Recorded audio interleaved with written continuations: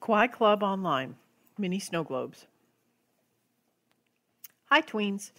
This month, you'll be making mini snow globes similar to the containers found in gumball machines. In your kit, you'll find three gumball containers, different color bases, a pot of glycerin, a bag of Sculpey clay, a bag of glitter, some glue. This is uh, strong craft glue and some slime charms. These slime charms will be different depending on your kit. You should have three in each. All right. To get started, you're going to take your Sculpey clay and you're going to pinch off a, a portion of it. You should have enough to make three snow globes, so you'll want to divide it into thirds. Pinch off a part soften it up and make a ball shape. You're going to use this to form a base for your slime charm so that it'll stand up straight in your snow globe. Now, if you've got something like the sheep, all you need to do is flatten it out and then take it out of the base so you can bake it according to the included instructions.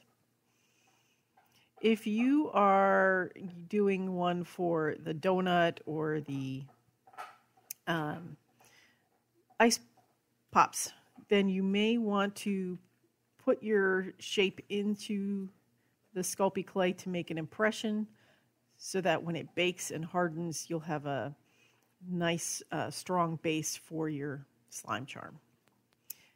All right, after you've baked it according to the instructions included, it comes out of the oven and is cool. It'll be nice and hard.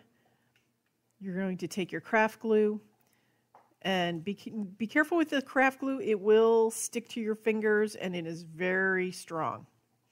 So you're going to glue your Sculpey clay base into your snow globe base. And if you're doing your donut or ice pop, you're going to use a lot of glue and glue it in place. Now, for some of the charms, you may need to hold on to the um, charm as it sets because it'll, if they're top heavy, they may start to wobble. But it, with this glue, it should set pretty quickly. And then you'll be ready for the next step.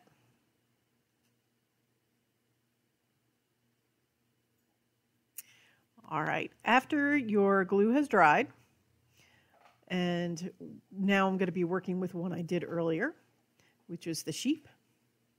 You're going to take your lid and add some water till it almost reaches the top, but not quite. You want to leave room for a little bit of glycerin.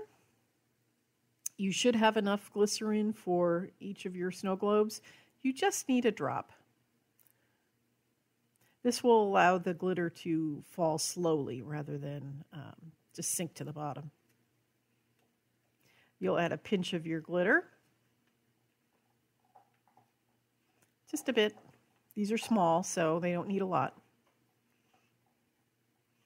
And then you're going to glue all around the edge of your container. This will keep it from leaking when it dries. In this video, I'd already glued most of it.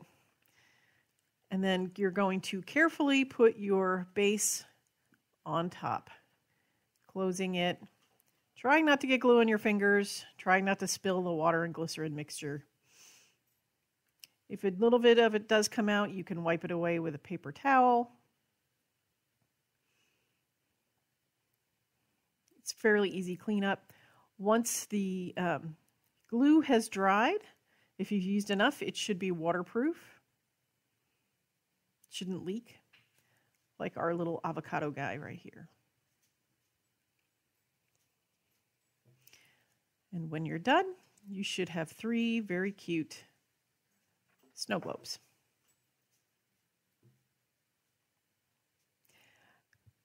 Thanks for joining us this month. I hope you enjoy them, and we'll see you next year in January. Bye, tweens.